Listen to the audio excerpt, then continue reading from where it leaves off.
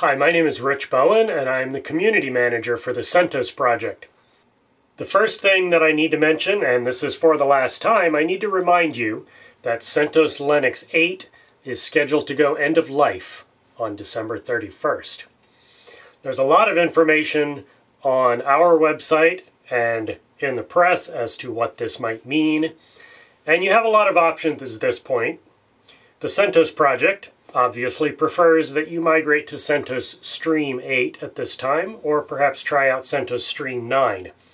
But there are a lot of other options out there, and we would encourage you to be informed and make the decision that makes the most sense for you. We're very pleased to announce that CentOS Stream 9 is now available for you to download and try out. Now, those of you that have been paying close attention know that it's already been available in one form or another for a couple of months. But we've kind of reached the point where we're more comfortable telling people to go ahead and try it and use it. CentOS Stream 9 is the branch that will become RHEL 9 later on. And so if you want to influence RHEL and the larger enterprise Linux ecosystem, this is the place to do that work. At the same time that we did the CentOS Stream 9 launch announcement, we rolled out the new designs that our artwork SIG has been working on to our websites. This includes CentOS.org, lists.centos.org, and various others of our web properties. So we encourage you to have a look at that, and many thanks to the people that worked really hard on this, particularly Alain Delgado, who worked on the design components of this. As you might know, we're coming up on the expiration of some of the current board of directors terms, and two of our directors have opted to step down at the end of this term. The board of directors will be considering nominations that have already come in and will be voting on these nominations in January. So we look forward to introducing you to our new directors early next year. Another part of the Stream 9 announcement is that EPEL 9 is now ready for developers to start contributing packages to. So at the moment, there's going to be less there than you're used to, but these packages will start to arrive, and we encourage you to be part of that process. If you would like to participate in packaging things for EPEL, you'll find the necessary information on blog.centos.org as well as in the links uh, below this video.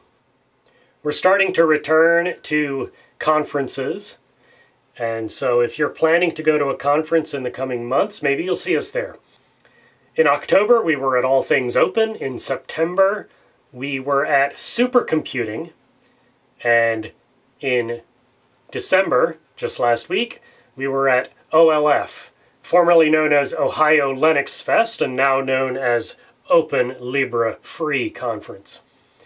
Coming up real soon is FOSDEM. Now, you may have noticed that they announced that that will be held online, and we will be, as usual, holding a dojo on the day before FOSDEM starts. The information about that event, the annual FOSDEM CentOS Dojo, is on our blog and on the wiki under events, and the call for presentations for that event is currently open. If you've been doing something interesting in or on CentOS, we encourage you to submit a talk to that event and tell the community what you've been working on.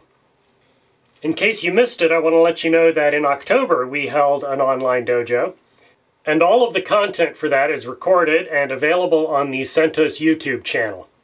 This includes a question and answer session with the board of directors, which included a lot of interesting questions around CentOS Stream and timelines and what our plans are for the future. For more details on any of these topics, you should read the November and December community newsletters, which have a lot more information and links to where you can get yet more information. On a personal note, I want to thank everyone who has participated in the CentOS project over the last 12 months. During that time, we've worked hard to make the CentOS project more open, more transparent, give more insight into how our governance works, and expand our SIGs to reflect what people are doing on top of the CentOS platform. During the last 12 months, we've added four new SIGs. We have made our board of directors meetings completely public. We have opened Board of Directors nominations to the whole community and put four new directors on the board to represent your views more closely. And we will continue that in the coming year. So thank you for being part of our community.